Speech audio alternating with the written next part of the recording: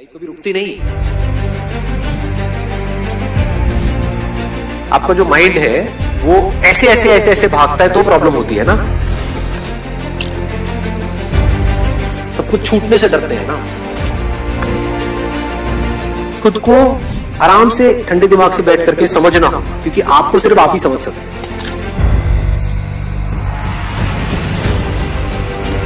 क्योंकि अगर ये टाइम निकल गया तो गया। इसमें एक्सपेरिमेंट करके देखो।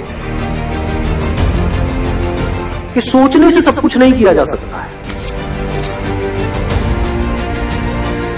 तो इमीडिएटली अलर्ट उसको इग्नोर मत करो। इससे ज़रूरी और कुछ नहीं। जब तक प्रैक्टिकली किसी भी चीज़ को आपने एक्सपीरियंस नहीं किया, तब तक आपको कुछ समझ नहीं आया। अगर इस तरह से आपने देख लिया तो आपको एकदम समझ आ जाएगा कि अच्छा ये खेल होता है।